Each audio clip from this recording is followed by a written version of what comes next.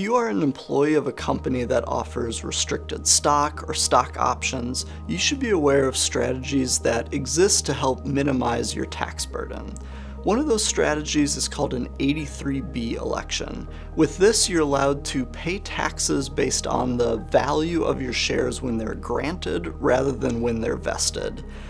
This allows for growth in your shares to be taxed at much lower tax rates and can be very advantageous for you.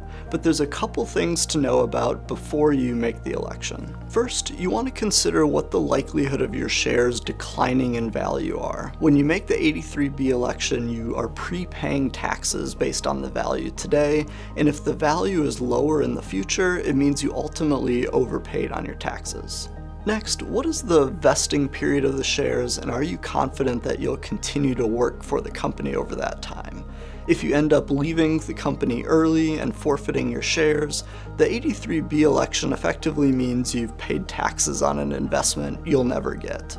In general, if you're in a position where your restricted stock or stock options begin to represent a big majority of your net worth, you're going to find a lot of value in working with tax and investment professionals to help you navigate all of the tax rules behind your options.